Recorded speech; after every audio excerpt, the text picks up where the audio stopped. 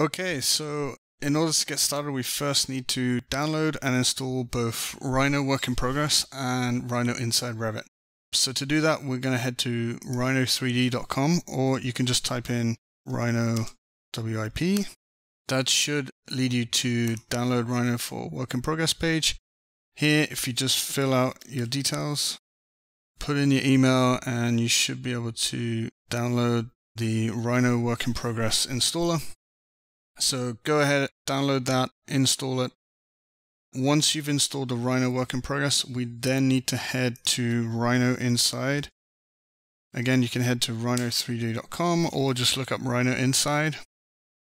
And on this page, it explains a little bit more about Rhino Inside in general.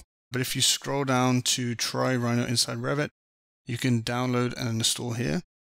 It obviously requires the Rhino work in progress. That's why we installed the WIP.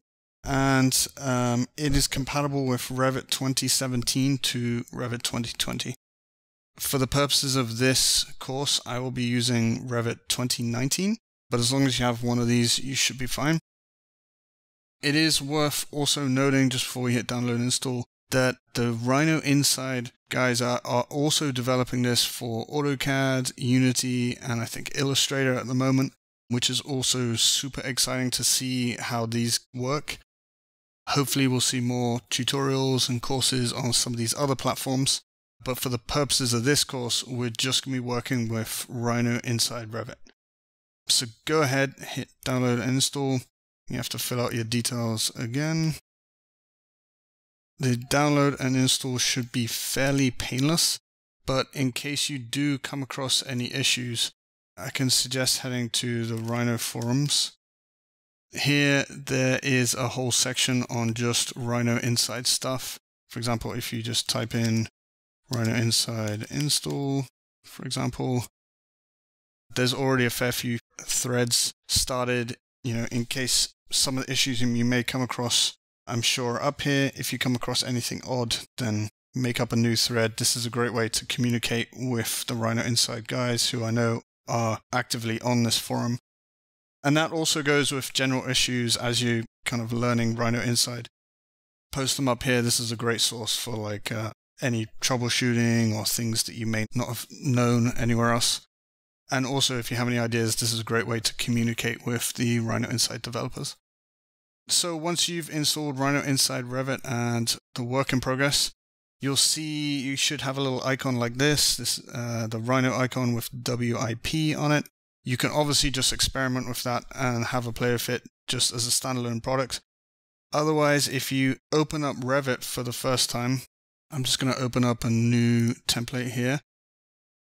For those of you opening it for the first time, you should get a warning to load Rhino Inside and you should be able to just always load so you don't have to constantly hit that every time you open uh, Revit. Once you do have Revit open, if you head to the add-ins tab, my computer's just catching up. So under add-ins, you'll see there's now a rhinoceros and this rhino work in progress icon. If you go ahead and hit that icon, you'll now be loading Rhino Inside into your current session of Revit. And so once you've hit that icon, you don't need to come back and do it again. So typically when I come in in the morning, I'll open up whatever project I'm working on. I'll also hit the Rhinoceros tab, the work in progress tab, just to load Rhino Inside into my session. Once you do do that, this Rhinoceros tab will appear and you'll get some of the icons you should that should look pretty familiar to you. So we got Rhino, Python, Grasshopper, Grasshopper player and some of the Grasshopper view settings, which you should be familiar with if you're already familiar with Grasshopper. So once we've hit this tab, we don't need to come back to that add-ins tab. You know, the Rhinoceros is loaded into this session in general.